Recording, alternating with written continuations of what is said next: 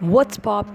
What's poppin', guys? Hope you guys have an amazing day. And today I'll be giving you guys a tutorial on KineMaster.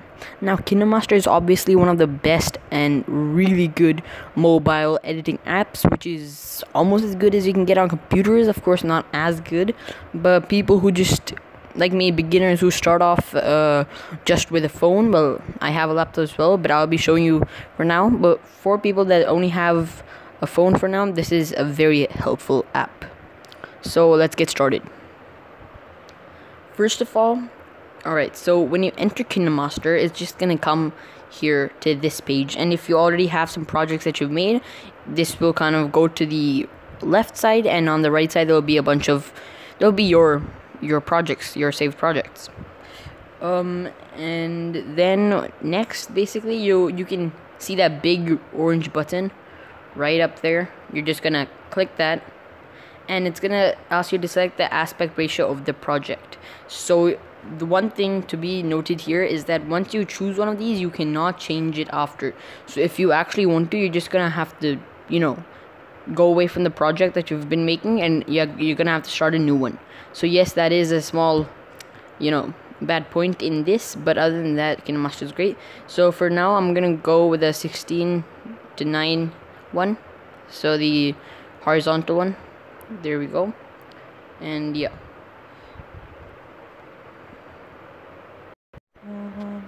Alright guys, so I have made a sample video. You can see up there the black video uh, of the camera in camera.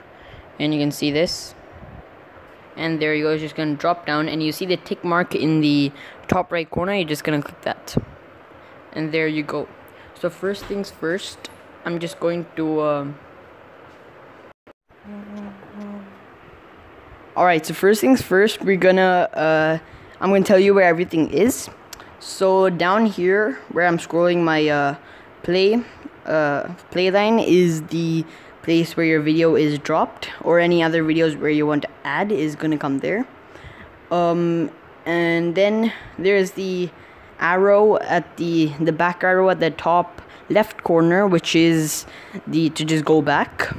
Um, then there's the undo uh, undo button and the redo button. And then if you click this basically you can see all of these capture and save capture and add as clip and all of those settings I'll be getting to after or I might not as it's not I'm not gonna get all get into all the features here just the most main ones. Then you've got this sun sign uh, you got the settings so basically here what's happening is audio. You can there's a bunch of settings. So I'm not gonna go into all of these because they're I'm not gonna go through all of them. Then there's uh, this button where it'll just show you the video and the video down there for other purposes but we're not going to use that. And then we got this one. So you just keep going to the end. And so if you if you've got a really really really long video and you want to scroll all the way back it's pretty hard. So you just click that one and to go front to go back. So yeah. And then you've got the uh well also one thing to know is that uh, well first of all you can see the black screen which is where the video is.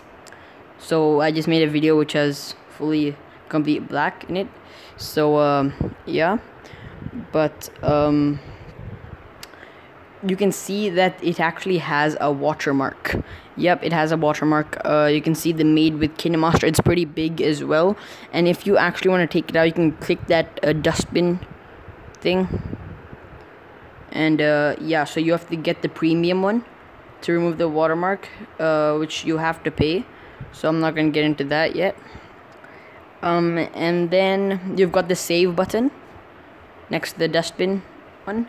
And then you've got this one the play. So as I'm playing it you can see I just played it and I can pause it play pause. So now then you have your your the circular button and things. And right around there you can see media. That's to add another video or photo. You can see layer. So as you click layer there's so many things comes like handwriting you can add another hand you can add add handwriting over. You can add text you can add, add overlay you can add, add effect you can add, add more media. And I'll be getting to these in just a moment. Then you can put a voiceover as you can see voice and audio. And I'll be getting to those in a little bit of time.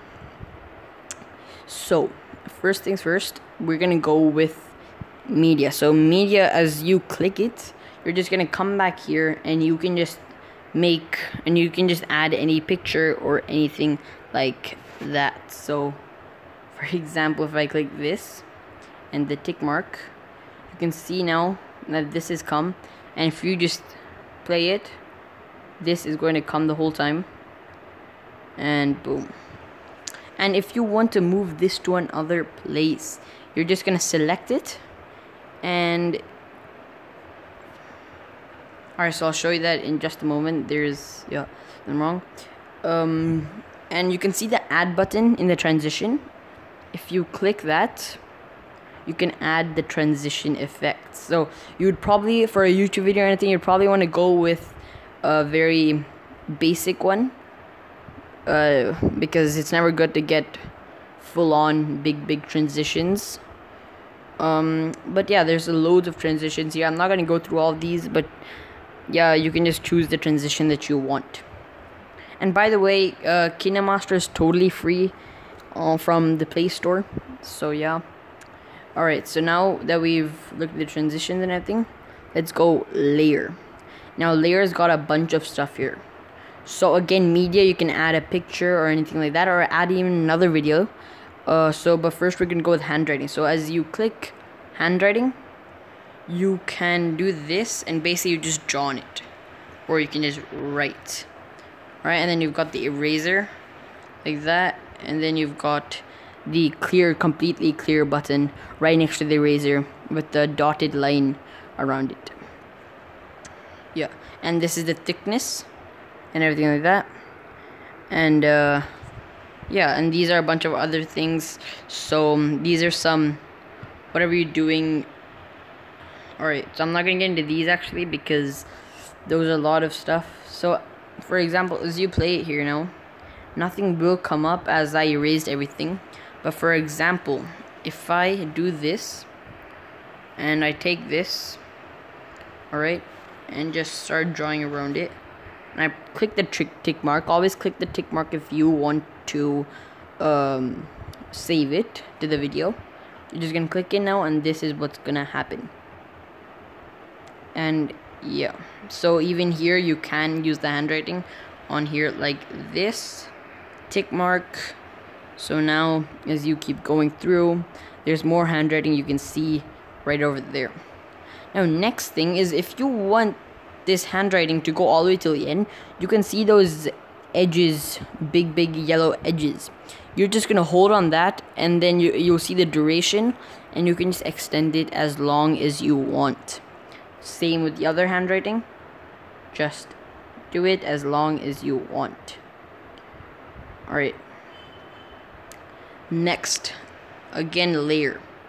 Then text is another one. So this here text is you can write anything like this and click OK. And you'll get this. And one thing is pretty cool um, so this now you can see that um, two arrows straight arrows not the other one. Using that you can uh, enlarge it. And then with the other one you can tilt it. So for example I put this and then now this is a really cool part.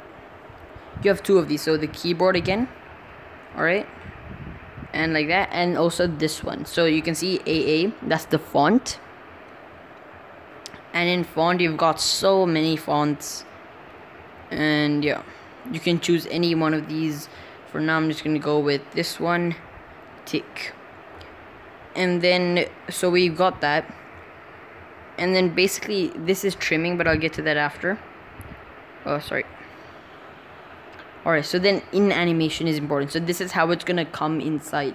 So for example, if I'm just gonna do that, right?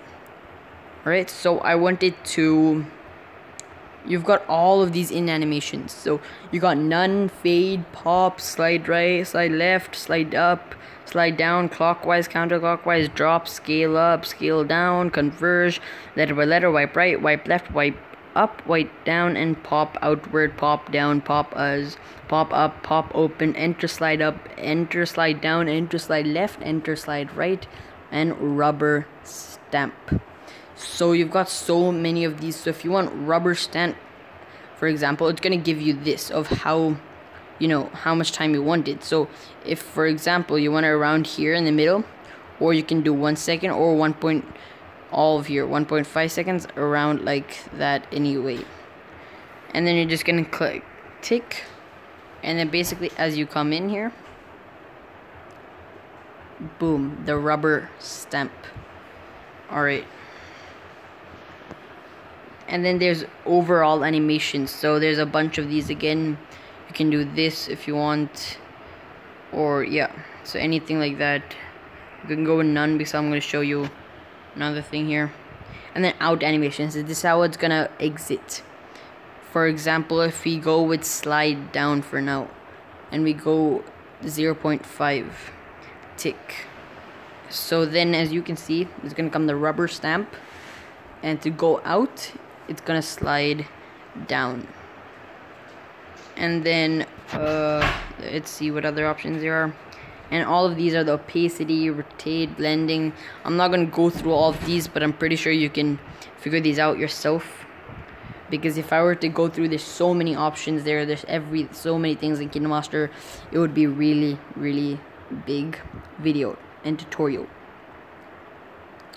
So now what we're gonna do is we're gonna go to overlay uh and then we're gonna go to classic stickers and then you got so many stickers and if you click get more you'll come here. And then there's animations here. So you've got all of these animations. Most of them most of them are premium but some of them are not. You've got stickers you've got text and titles you've got all of these as well so yeah we're not gonna go through all of these uh, because again I told you we're just going through the key features. Alright. Now.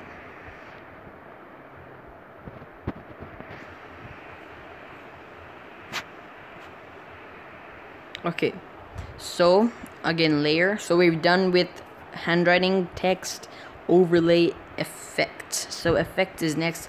There's basic effects like Gaussian blur and mosaic, but you can get more. And this again is fine. And then media I have already showed you. It's just to add some a picture or anything like that. Alright and then next voice. Alright so this is more of a, a voiceover so what you can do is basically here you can just add in voiceover so if I click start now this is going to be recording all of my sound right now. I don't know if my thing is working or not, but let's see. Okay, so the voice recording was too uh, short. Okay. Yeah. Alright, so, but you get the idea. You can add voiceovers. And then next is audio. Uh, so songs, I don't have any. And then basically there's just a bunch of these uh, music assets, F SFX recorded. Alright, so I'm not gonna again go through all these as I said earlier. Alright, so now we're done with layer completely. What we're gonna do next is, so we're done with all of these, and if you click, wait, so if you click the circular button, the orange circular button, the other two things are gonna come. So you can click, if you click camera, allow, and boom you're here in here. So I'll just click back because we don't need one right now. And then um just the camcorder is to record. So uh yeah you're not going to use this now then uh so we've done with all of these but a ma a major part is trimming and all of that so you can if you click this these are gonna come up. So if first of all, if you wanna trim from the corners, you just click those yellow things as I told earlier, and you're just gonna do this, as I told earlier, to trim. But then what about if you want to split or cut things from the uh, middle, right? So from suppose here to here, you want to cut all that in the middle. Now what you can do is you're just going to select the clip, alright? You're just going to click the trim. And here it's really cool because it says trim to left of play, play ahead. So basically what this means is you're gonna trim everything in this clip to the left of it. So what that means is I'll just show you with arrows in this video. And uh, so basically what this means is it's gonna trim all of that and to the end of the video from the left in this clip. Alright? And then trim to right of that is opposite, it's gonna trim everything to the right. So what this is mainly used for is basically it's useful if you have a really long video and you don't really want to cut all of that it's for that but for now we're just gonna use and I'm not gonna go into split and insert freeze frame but I'm gonna go with split at playhead. So boom. Now what it just did it, it just split it. So you can see it split it. And then here basically what you can do is you want to cut from that split that I did to here if you want. Then you're gonna select this clip and again you're just gonna click that split at playhead. So now you have this clip right here and then what you're gonna do as you want to delete it is just you can see that delete button right there on the sidebar and you're just gonna click that and boom it's gone. So that's exactly how you cut from like that. So yeah it's very simple uh and everything. And then yeah let's go through these other ones. So you've got the volume here so I'm not going to go through all of these. Actually I'll go through this. So this is basically just the volume that there is in the video. This is this the volume and then this these are some complicated things that I won't be going through. Next thing is clip graphics. So these are just a bunch of graphics that you can use. Then there is speed. So speed is important uh, here's the speed so you can just keep going through the speed like this. So for example if that's good it's gonna click this and then boom it's going through really slowly. So if you click this again uh, and then you go to speed and then you go all the way to the max 3.5 Alright, so this is gonna come, but it's fine, just, just for a tutorial. And boom. So that's how fast it was. Next is, so we're done speed reverse. So this is just gonna uh, reverse the thing, it's gonna go backwards, so for now I'm gonna go with cancel. Uh, and then rotate slash mirroring and then you can just mirror this up like that or mirror it up like that and rotate rotate but nothing's gonna really happen because it's just a black screen. Uh, and then there's color filter. So you can do a basic warm cold. Nothing I don't think is gonna happen really because it's a black screen that I'm using for as a sample video. But uh, yeah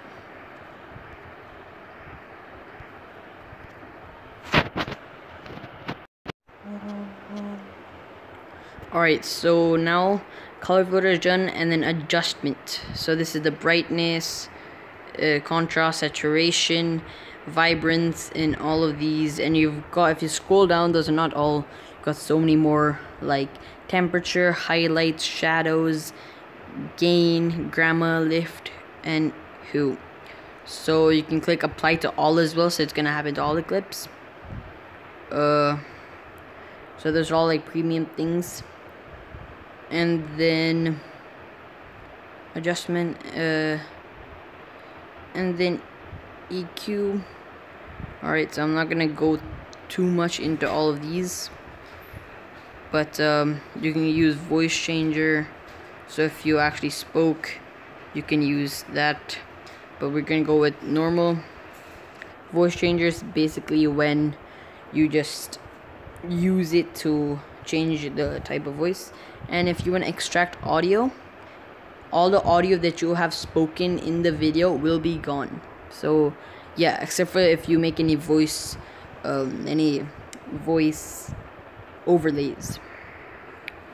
So uh and then if you click this one by the way this button next to the under the uh, voice and layer is going to just take you to the store you can buy a lot of these